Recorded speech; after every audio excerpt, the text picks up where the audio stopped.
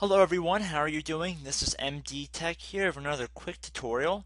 Today I'm going to be showing how to fix your CD or DVD drive if your computer is not detecting it, whether or not you might have removed your optical drive or replaced it and your computer is not recognizing it.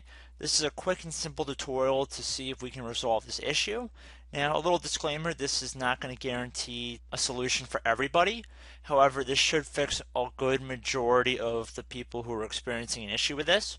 We're going to head down to our start menu and we're going to type in regedit. We're going to right click on it and then left click on Run as Administrator.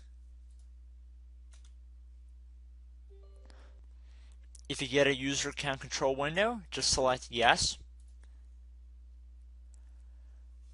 Now you want to navigate to H key, local machine. Left click on the little drop down arrow next to it. Left click on the little drop down arrow next to System.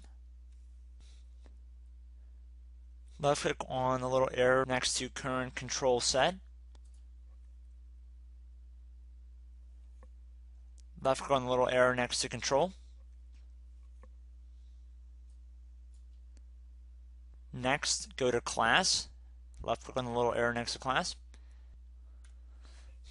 Now you want to scroll down on this list until you find the file containing 4D36E and those are the first few characters of it.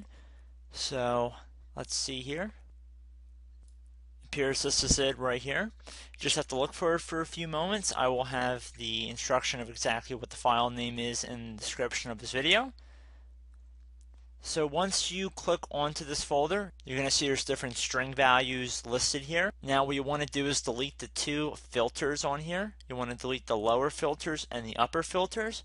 It's very simple to do this. We're just going to right click on both filters. So I'm going to start with the lower filters, right click, left click on delete.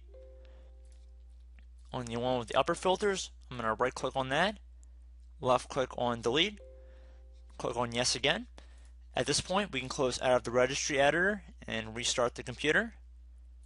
Hello everyone, the computer has successfully restarted and the computer should be able to detect our optical drive at this time. So hopefully this tutorial worked out for you guys and I will see you in the next video. Goodbye.